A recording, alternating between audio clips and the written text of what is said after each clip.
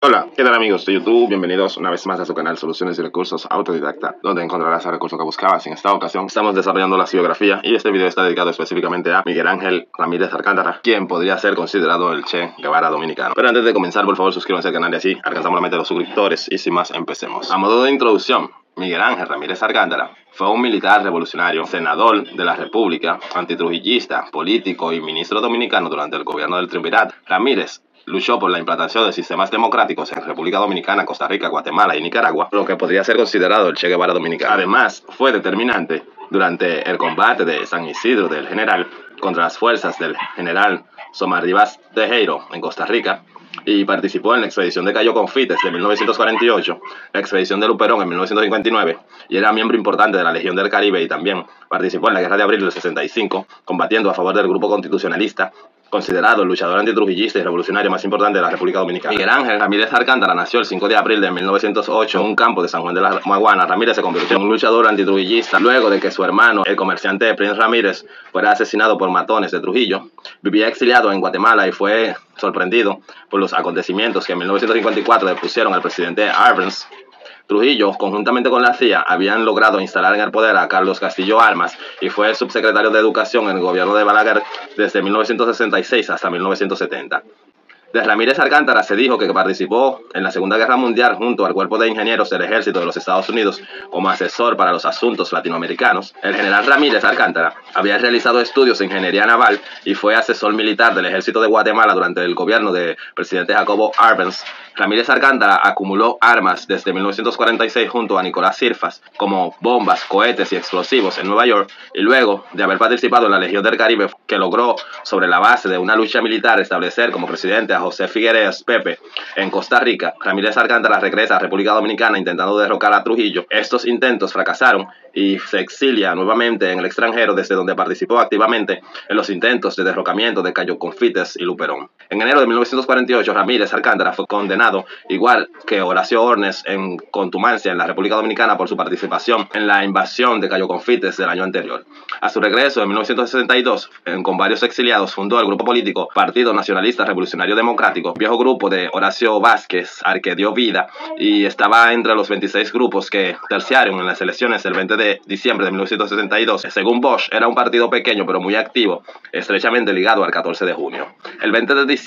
al realizarse las elecciones generales, el PRD barrió y en segundo lugar quedó la Unión Cívica Nacional, pero el Partido Nacionalista Revolucionario Democrático del general Ramírez Alcántara ganó en la provincia de San Juan de la Maguana por ser lo que podría llamarse hijo favorito, ya que la familia Ramírez había proveído el área con caudillos regionales desde principios del siglo y era algo razonable que esto sucediera. El partido de Ramírez Alcántara se fortaleció en el suroeste del país eh, fundamentalmente en los puntos donde se establecieron grupos activistas religiosos seguidores de Oliverio Mateo y los mellizos y su fuerza se reflejó en el triunfo electoral logrado sobre otros grupos políticos participantes en, en los comicios del 62 en el que logró cinco diputados, un senador y una cantidad considerable de votos. Murió en Santo Domingo el 30 de julio de 1989. Como asesor militar en Guatemala, esto sucedió entre 1944 y 1954. Ramírez Alcántara participó en la Revolución de Guatemala de 1944 y más tarde, acompañado de Juan Rodríguez García y Horacio Ornes, había sido enviado por el entonces presidente Juan José Arevalo Bermejo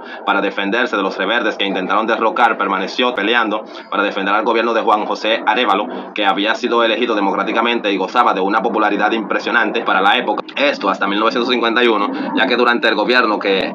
y durante los últimos años que estuvo como ministro de Defensa Nacional, su compañero de armas, José Jacobo Arbenz, le nombra asesor militar con funciones de las de un viceministro de Defensa para ese entonces. En las expediciones de República Dominicana, esto sucedió entre 1947 y 1949, Ramírez Alcántara organizó la expedición de Cayo Confites de 1947, logrando organizar junto a Rodríguez García y Horacio Julio Ernest Cusco, lograron acumular cinco barcos, 18 aviones y más de 1.600 combatientes, pero fueron interceptados por barcos cubanos y no lograron llegar ni el batallón comandado por el general Ramírez Alcántara ni el pelotón de Rodríguez García y estos fueron apresados en México cuando intentaron abastecerse de combustibles y una vez presos en México, las autoridades mexicanas les informaron a Joaquín Balaguer, entonces embajador en México, justo tres días antes de que los expedicionarios eh, restantes llegaran a territorios dominicanos, el gobierno mexicano se rehusó a entregar a los reverdes al gobierno dominicano y los envió a Guatemala desde donde participó en revoluciones en países como Guatemala, Costa Rica y Nicaragua.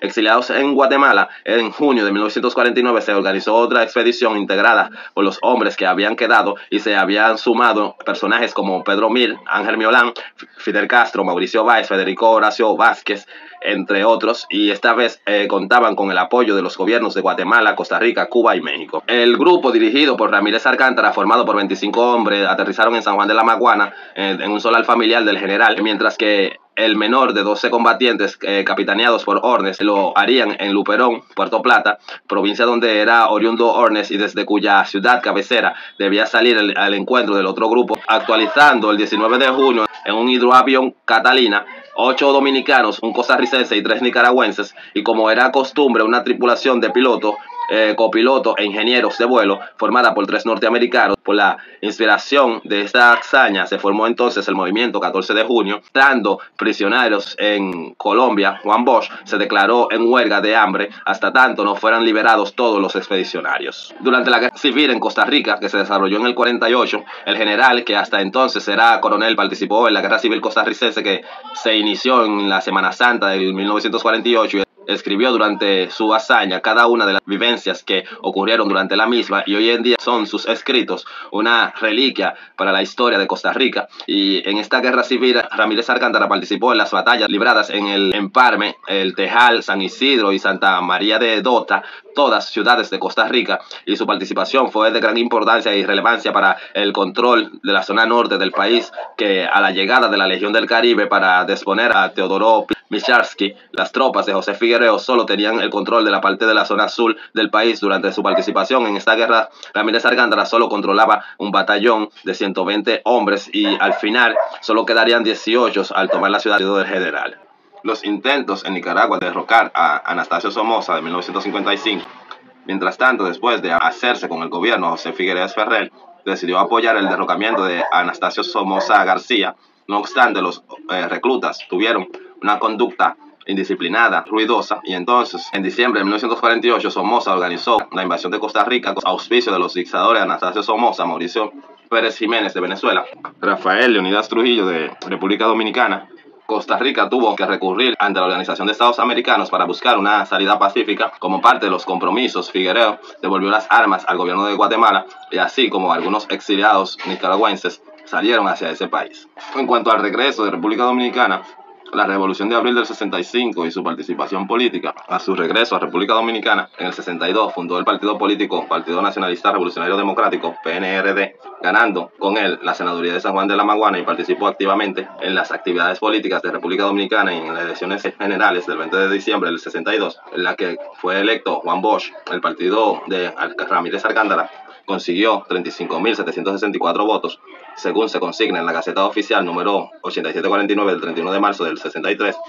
y con esta cantidad de votos pudo obtener una senaduría, cuatro sindicaturas y 24 regidores a nivel nacional, así como cuatro diputados. Y con el derrocamiento de Juan Bosch del poder, la implantación del triunvirato y la invasión norteamericana, vino el estallido de la guerra civil de abril del 65, en la que el general Ramírez Alcántara tuvo que participar, y en el gobierno del triunvirato, integrado por Emilio de los Santos, Manuel Enrique Tavares Espaillat, y Ramón Tapia Espinal fue nombrado ministro de Agricultura. Esto ha sido todo en este video. Por favor, suscríbanse al canal, denle me gusta, comenten, compartan y así este contenido llega a más personas. Muchas gracias.